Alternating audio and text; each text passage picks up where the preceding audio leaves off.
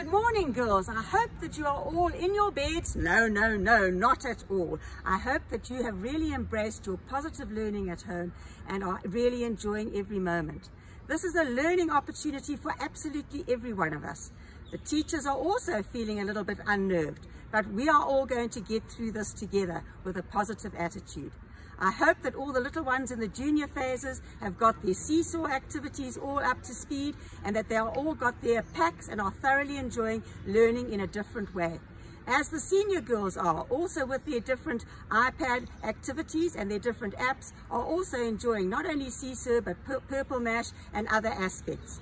We really look forward to a positive time, a positive energy all round, where not only you girls are learning in a different way, but us teachers at APPS are. And please remember, girls, that we are only a phone call away. You're or an email away. If there's any aspect of your learning that you are struggling with, please just give us a call. The um, front desk, the admin is all open and up and running. All of our teachers are readily available to assist and we just want this to be an absolutely wow time. Have lots of fun. Cheers from APPS.